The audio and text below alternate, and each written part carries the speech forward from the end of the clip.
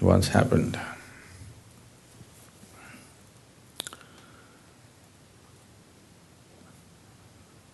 Gautama, the Buddha, you heard of him? Hmm? Yes. Everybody heard of Gautama? So, uh, Buddha is not his name, his name is Gautama Siddhartha. He became a Buddha. So he is not the only Buddha in the world. There have been thousands of them and there still are. So Gautama was sitting in a large congregation of people one morning, an early morning, earlier than this, okay? A man arrived and stood there in the shadows. This man is a great devotee. He is a devotee of Rama. You heard of Rama? Hmm? Not Rami, Rama. Rama is uh, one of the most popular deities in India.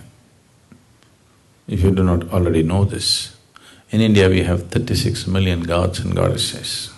It's a very rich country.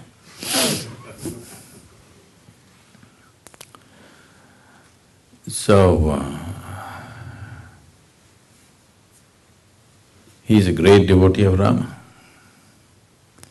The devotees in India, not now and not everybody, but those who take this seriously, they will not utter any other word than the name of God that they believe in. So if they want you to come, they'll say Ram Ram. If they want you to go, Ram Ram. If they want something, Ram Ram. No other word but Ram. Their clothes are all printed Ram Ram, they utter only Ram Ram, they live Ram Ram. They devoted their whole life to God. You are smart, you are not like that. You kept, you kept God like insurance. Just in case something goes wrong, I have also paid my premium. hmm? Everything that you need to do, you do it yourself. You kept God like insurance. You're smart. But this man invested his whole life in God, total. Age is passing away, little doubt has come. Are there people here who don't believe in God? Nobody? No leftists? No? Only one? Okay. What's your name? John. John. Only John? Nobody else?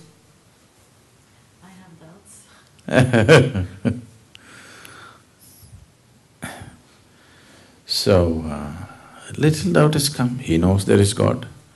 Just a little doubt. Suppose there is no God. I'm wasting my whole life doing Ram, Ram, Ram. See, this doubt will come to you only if you invest whole your, your whole life. You invest just ten minutes in a week, then you will not get this doubt, it's all right, what's the problem? You know? If you invest your life completely into God, then within three days doubt will come. Am I wasting my life just doing this? And uh, there are other people who don't believe. See, look at this John. He doesn't believe. For him also sun comes up in the morning. For him also flowers blossom. From him also life happens. Looks like he's having a better time than me. A little doubt. He knows there is God. Just a little doubt. Now there is an enlightened being here, he wants to confirm. But after being a well-known devotee for a long time, because he did not just go to the temple, he built many temples. At this stage in his life, how to ask whether there is God or not now? So he came early morning, stood in the shadows there and asked this inevitable question, is there God? Gautama looked at the man and gave a clear, emphatic no. Here, this large congregation of disciples, this has always been a struggle in their, their mind is there God or no God, is there God or no God?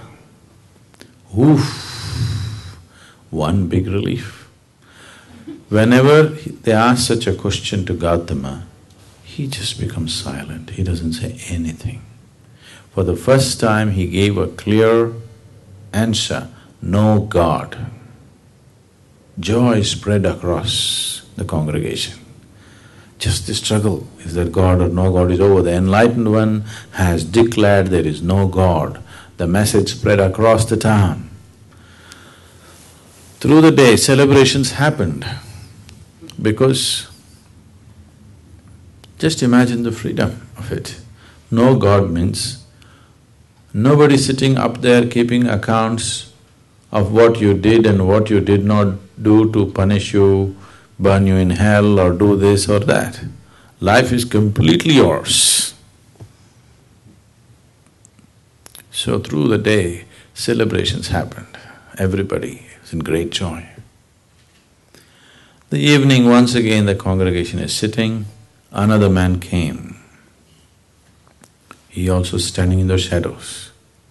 This man is a Charvaka.